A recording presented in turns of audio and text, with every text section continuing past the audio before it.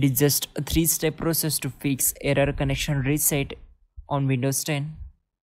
Go to search bar and type CMD. Right click here and click on run as administrator. It will open command prompt. Then type this command carefully ipconfig slash release and hit enter. Then type ipconfig slash flush DNS and hit enter then type ipconfig slash renew and hit enter. Then type netsh winsock reset and hit enter.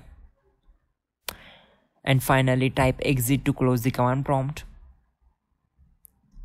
Then go to start icon click on settings then click on network and internet then select ethernet tab and click on change adapter settings. Right click here and click on properties. Select IPv4 and click on properties.